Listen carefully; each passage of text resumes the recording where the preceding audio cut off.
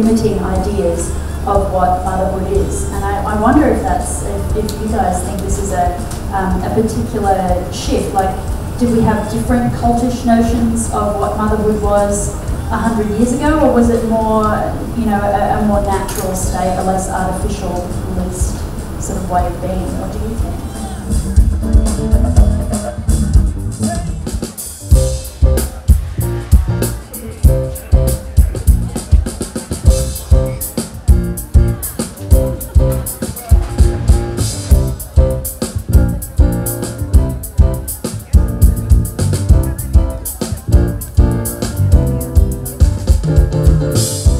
I'm Danish Wright from Jakarta. I just published my book titled Green Card. This is a novel based on true story about the Indonesian who's struggling uh, to get a green card in United States. And more interestingly, uh, you have had first-hand experience, right? I mean, as in being in touch with those people who were struggling. Can you tell us a little bit about that?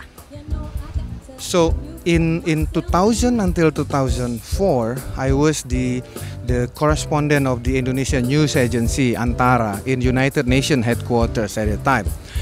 And uh, uh, for uh, about four years being in United States especially in New York City I was not only uh, seeing college uh, working related to my work but also I met so many Indonesian in, in, in the United States. So basically this uh, story in this book is about what I heard, what I felt, and what I saw about Indonesian in the United States. I would like to tell uh, all of us here as an Indonesian that there are some Indonesian who struggling very hard to improve their life they go to United States that's very very far away from our home country. Um, uh, I think this book is uh, uh, my appreciation to all Indonesians who already proved themselves as uh, as uh, a good uh, people who try very hard in, in, in another country.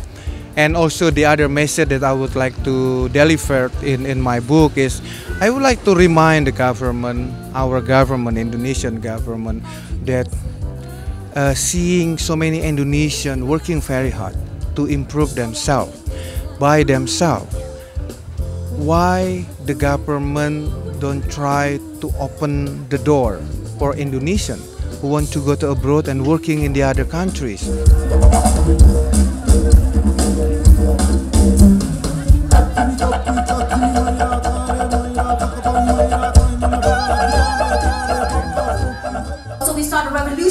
From our bed by tugging at the sheets, screaming declarations, shouting contestations. We protest harder and harder and harder till we finally come to a compromise. I know there's stories and excuses, ways that you will hold yourself to those layers you keep placing, because like a block of ice that's melting, you feel the annihilation of your form. I prayed to any random apsara or angel that might have been passing by pray to my dead guinea pig. No more photoshopping my face into your selfies. It's gotta stop. No more cropping out these other jerks from our pics that can't be healthy. I don't mean to cause friction, and I'm sorry it's come to this. These are my hands. It was them that carved the sun, so don't cry for me, mother, when the end of this world comes. When Orion collides with Earth and everything we loved is gone, remember, I'm not wreckage. I was the bomb.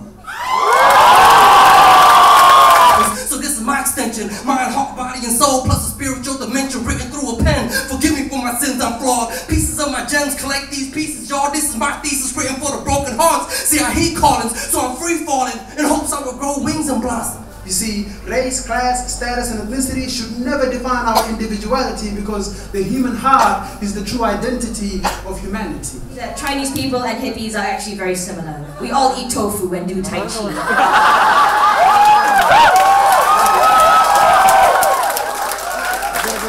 We all believe in movements of energy. We all believe in our Eastern philosophy. We just use our incense sticks differently. Hippies burn it because someone said it would bring tranquility. Chinese people burn it because someone said it would make our dead ancestors happy. It's the same thing, really. All mannerism aside, the truth comes alive. Raw without shame and full of pride, the highest of climbs, the deepest of dives, searching for the place where life is alive.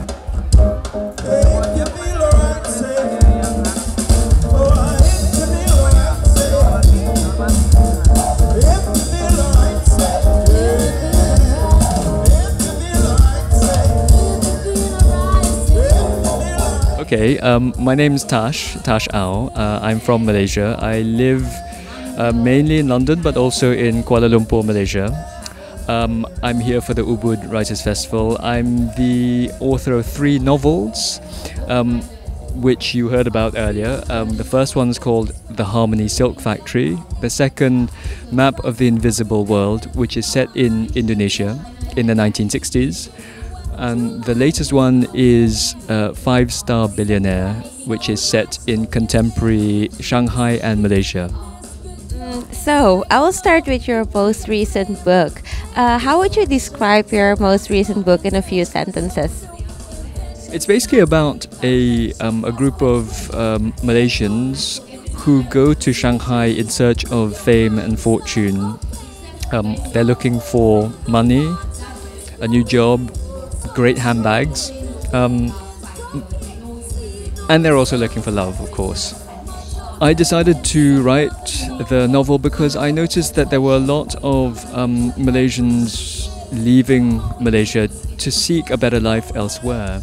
And you know, 20 years ago they used to, to go to, to America or to, to Europe, but a lot of them are now going to China. So I went to China myself and saw that um, there were so many people from overseas there, and so many of them were doing really weird and wonderful and exciting things. So I decided to write a novel about that. Um, the biggest challenge, I guess, was was trying to um, or trying to get inside the head of a young woman in China today and, and what it means to be a young woman in China today, the pressures that women are under, the pressures to look beautiful, to look glamorous and feminine, ultra feminine and sexy, um, and to project a message uh, of themselves. Because I, I saw that that was what young women were trying to do everywhere, and and for me, obviously, I you know I'm not a woman, so I had to try and relate to that in in in, in a very kind of in a way that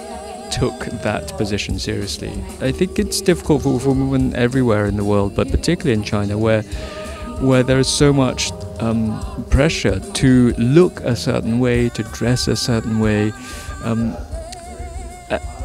and so much depends on men. And ironically, those kind of impossible standards do not apply to men? Yes, absolutely. You're absolutely right. Those same standards do not apply to men. Um, they apply to women, but not to men.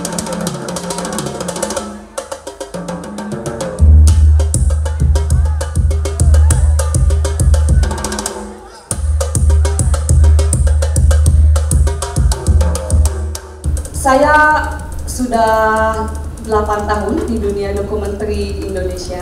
Yang saya capture uh, dalam film-film saya kebanyakan uh, diary life. Juga ada peristiwa-peristiwa besar yang merupakan himpunan-himpunan dari peristiwa keseharian yang muncul. Tapi sampai pada muncul peristiwa-peristiwa yang menjadi puncak, misalkan terjadi konflik, barulah kita merasakan bahwa ternyata perubahan sudah terjadi.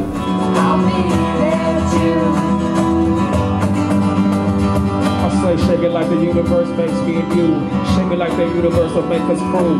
Shake it like the universe will do red and blue. Combine as one, the sunshine with sunbind. Let you know we combine, we need a foundation. Let it crack and raise up a new nation. Black and white colors all around the globe. Let you know we coming through, we get above the clothes. Make expose our emotions. Make it expose, we float around like we riding on the ocean. You're all connected. And he was relating it to, you know, stuff that was like really practical in our lives. He's like, you know, basically better sole control of our lives. There's no mystical force out there in the sky that's got puppet strings on us all directing things. You know, there's no some being that's in the in the earth that's like making you have bad experiences in life. All that stuff is within you. That's what he was saying. And then what really clicked in my mind is when he, when he said to this person, he was just like, "You are God." And I never heard that in my life. Oh,